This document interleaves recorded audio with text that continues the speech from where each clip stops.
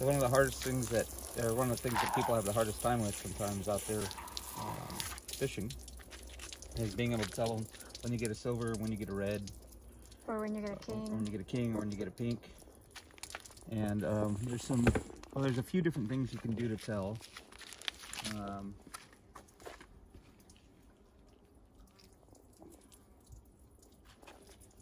some of the easiest ways to tell is actually using the tail. Um, for instance, here,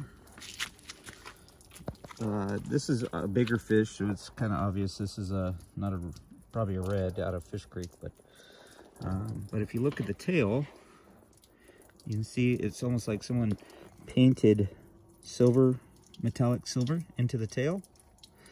That is what you, the, one of the easiest things to identify, especially if you're out in the in the mud and the muck and your fish is all dirty and you're trying to quickly identify if it's a silver or it's a red. That's one of the easiest ways to tell. It's just that silver in the tail. If you look at a red salmon right here next to it, you see it doesn't have that that silver mm-hmm. in the tail like like the silver does. Mm-hmm. And so the easiest way to look is just grab the tail, use your thumbs, kind of clean that off, and look for that silver in there. And then compared to not. And then with pinks, let's see, did we get any pinks today? Pinks, easiest way to tell. Is this not pink?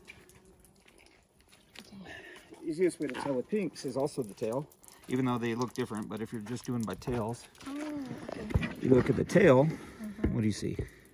Oh, there's like a spot. huh? Spots. Okay. Can you put them right next to each other so we know?